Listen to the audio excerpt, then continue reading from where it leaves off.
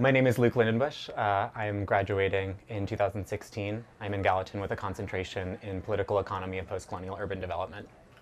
Yeah, most of my academic focus is on urban justice because I see it as the nexus of all of the issues that I care about, um, issues that are relating to queer justice, um, the LGBT rights that affect that community, um, issues of prison reform and abolition that emerge from discriminatory practices against people in urban centers, and more general economic and environmental justice. I'm, I'm working on a wide variety of campaigns um, ranging from LGBT justice to prison reform.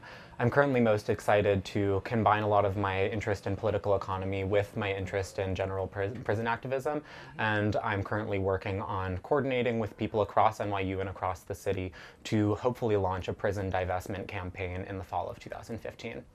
I'm working right now just on making connections with people one-on-one -on -one because I think the best way to coalition build and to actively build activism is by making personal connections and understanding which people are largely interested in really intersectional issues that come through in prison activism. The, the first day I understood that my role in life would be one of an activist or an advocate was the day that Prop 8 was passed, and I felt truly angry on a personal level about a political issue for the first time in my life.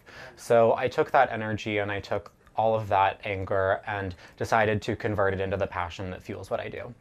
I would say that the most inspiring or most inspired thing I've done in activism hasn't come yet, and I think that the most exciting thing about activism is that the issues that drive what the work that I do um, are not the be-all end-all. It's rather the commitment to ongoing justice that can always be furthered.